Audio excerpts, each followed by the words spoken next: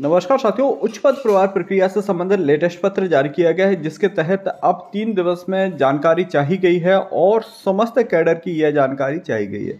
क्या जानकारियाँ हैं? महत्वपूर्ण जानकारी हम जानेंगे इस वीडियो में। साथियों, आप प्रतिदिन शिक्षा विभाग से संबंधित लेटेस्ट अपडेट के लिए चैनल को सब्सक्राइब ज़रूर कर लीजिएगा और लाइक एंड शेयर करना नहीं भूलिएगा। साथियों, जैसे कि प्रति में समस्त संकुल प्राचार दिए गए हाई स्कूल, हायर सेकेंडरी, वहीं विषय में दिए गए स्कूल शिक्षा विभाग में कार्यरत लोक सेवकों की वरिष्ठ सूची के संबंध में है और उपरोक्त विषय अंतर्गत संदर्भ पत्र के पालन में राज्य स्तर से संधारित प्राचार उच्चतर माध्यमिक विद्यालय प्राचार हाई स्कूल, व्याख्याता उच्च माध्यमिक विद्यालय, उच्च माध्यमिक शिक्षक, प्रधान पाठक, माध्यमिक विद्यालय, उच्च श्रेणी शिक्षक, माध्यमिक शिक्षक, लिपिक संवर्ग की सूची विमर्श पोर्टल पर, एजुकेशन पोर्टल पर उपलब्ध है।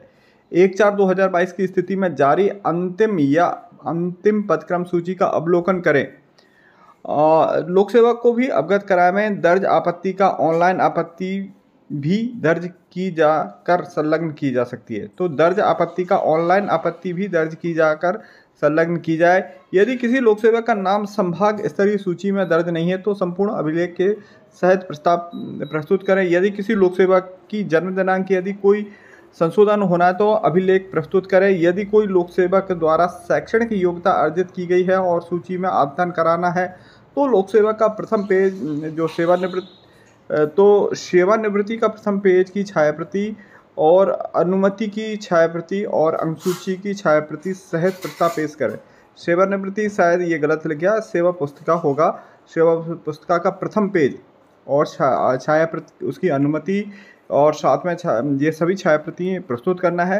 कार समय सीमा में तीन दिवस में प्रस्ताव प्रस्तुत करें। तो साथियों, ये संकुल प्राचार को यह प्रस्तुत करना है और कोई भी लोक सेवक अगर उनके उच्च पद प्रभार प्रक्रिया में नाम छूट गया है या फिर जो सेकेंड राउंड की काउंसलिंग होना है, आप चेक कर लीजिए। यदि कोई त्रुटि है तो आप संशोधित करवा सकते हैं। फिर फाइनल लिस्ट जारी होगी। तो समय सीमा का कार्य तीन दिवस में यह कार्य करना है और जिला शिक्षा अधिकारी महोदय, जिला आगर मालवा ने यह जानकारी प्रस्तुत की है। दो नवंबर 2023 को यह पत्र जारी किया गया था और शीघ्र ही अन्य जिलों से भी जारी होने वाला है। तो साथियों, आप अपने दावे आपत्ति लगाना प्रारंभ कीजिए। उच्च पद प्रभार से संबंधित सभी समस्त कैडर के बारे में इसमें दिया गया है।